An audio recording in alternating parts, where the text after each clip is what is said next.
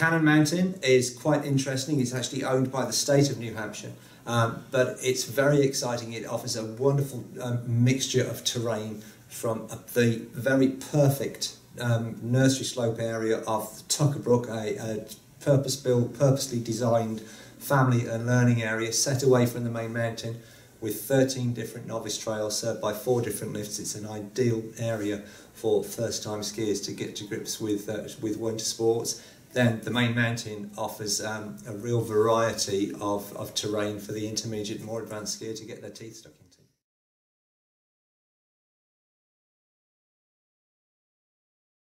One of the famous things about Cannon Mountain that the locals love uh, is what's known as the front five. Five relatively short runs that are on the front face of the mountain that you can see from the highway as you approach the mountain. Um, Zoomer is one, uh, Paulie's Folly and Avalanche. They're all real fun mountains for the intermediate, uh, sorry, real fun runs for the intermediate skier uh, to to hone their skills on, and they all lead down to a, a super little triple chairlift, which then takes you back to the top of the front five once again. Great fun to uh, to progress on.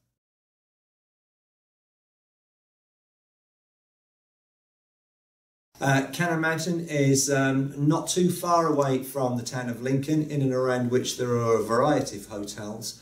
Um, one that's very popular for groups which are staying at Cannon Mountain is the Indian Head Resort. It's literally just a 10 minute drive away back down Route 3 and offers a fantastic range of facilities, particularly spacious rooms at the Indian Head. They all have 50 inch TVs inside them, but it also offers a combination of both an indoor pool and a year round heated outdoor pool indoor and outdoor hot tubs, uh, particularly well known locally for its food and has lots of function space inside for the kids to enjoy their own fun evenings in the hotel.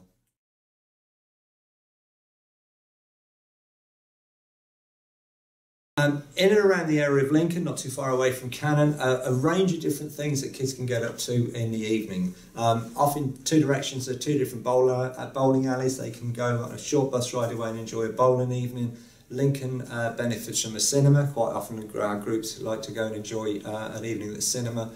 Uh, Loon Mountain, which is just a short drive back down, in, um, offers an adventure centre where they can go ice skating and also tubing in the evening. Um, excursions to our tax-free factory outlet shops are also popular. Um, and also, as I mentioned earlier, in the hotels, they normally all have a very large function room where, towards the end of the week, when the groups like to arrange a, a party night or a disco or a karaoke night, uh, that can all be arranged as well.